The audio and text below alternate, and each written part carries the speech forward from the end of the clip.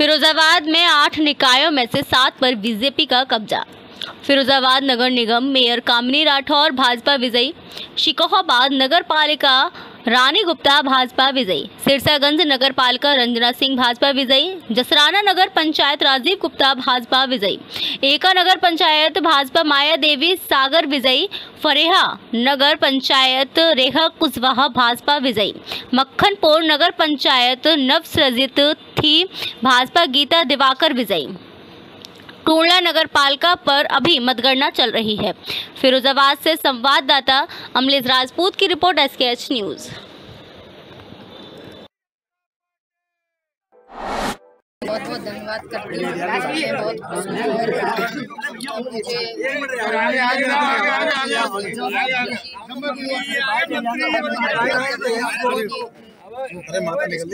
सभी पदाधिकारी सभी का बहुत बहुत धन्यवाद।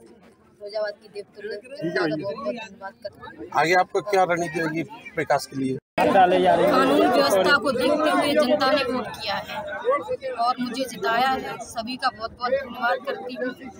माननीय प्रधानमंत्री जी माननीय मुख्यमंत्री जी सभी वरिष्ठ नेतागण सभी पदाधिकारी सभी कार्यकर्ता देवतुल्य जनता फिरोजाबाद की सभी का बहुत बहुत धन्यवाद करती हूँ। सबसे बड़ी प्राथमिकता क्या रहेगी जीत के बाद आपकी? सबसे बड़ी प्राथमिकता हमारी ये रहेगी कि फिरोजाबाद में भ्रष्टाचार को पनपने नहीं दूँगी और जनता की सेवा के लिए तत्पर रहूँगी और जनता में कोई भेदभाव नहीं होगी कोई ऊंच नीच नहीं होगा और ज़्यादा से ज़्यादा विकास कराया जाएगा ठीक है। भैया। विकास की क्या बात होगी? नमस्कार मैं बहुत बहुत खुश हूँ। माननीय प्रधानमंत्री जी, माननीय मुख्यमंत्री जी सभी वरिष्ठ नेतागण, सभी पदाधिकारी, सभी कार्यकर्ता, फिरोजाबाद की देवतुल जनता का बहुत बहुत धन्यवाद करती हूँ। मैं सभी की बहुत बहुत आभारी रहूँगी, हमेशा रेडी रहूँगी और मैं आपके चैनल के माध्यम से बताना चाहती हूँ कि शहर में कतई भ्रष्टाचार को पनपने नहीं दूँगी। जनता के लिए हमेशा तत्पर रहूँगी और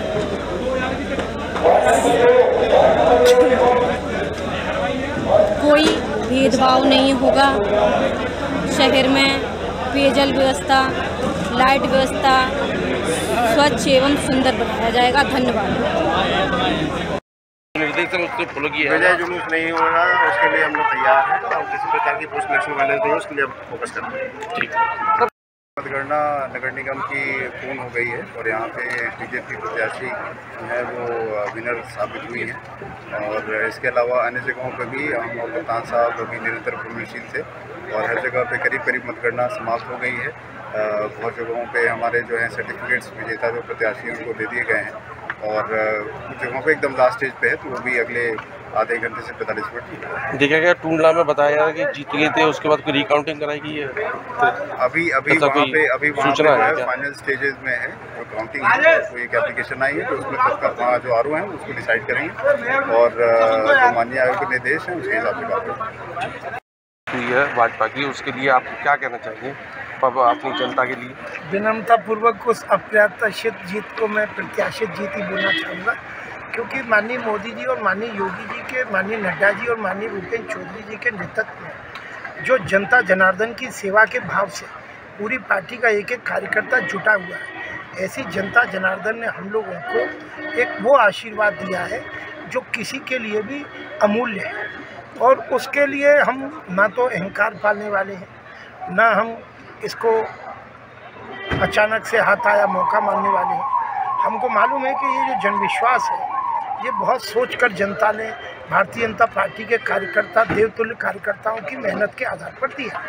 हम सब कार्यकर्ता 2022 के चुनाव में सकारात्मक परिणाम लाए थे। हम सब कार्यकर्ताओं ने मिलकर पूरे प्रदेश में निकाय के लिए सकारात्मक चुनाव के परिणाम लाए हैं। तो भाजपा और की टू पॉइंट ज़ीरो की सरकार सब- में आपने एक बार फिर दोबारा हम सब यहाँ से भाजपा के प्रत्याशी को मेयर बना के भेजा है।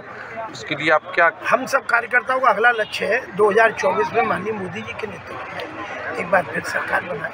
हम आपके चैनल के माध्यम से ये प्रार्थना निवेदन करना चाहते हैं कि जो भी लोग चुनाव लड़े उनके साथ कोई कटुता नहीं।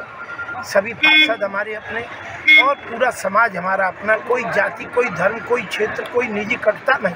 हमको माननीय मोदी जी योगी जी का जो नेतृत्व का एक मूल मंत्र है भाजपा का मूल मंत्र है कि सबका सम्मान करना है सबका विश्वास जीतना है सबका साथ लेना है और सबका विकास करना है। इसी के आधार पर पूरी पार्टी लगातार आगे बढ़ती है। Thank you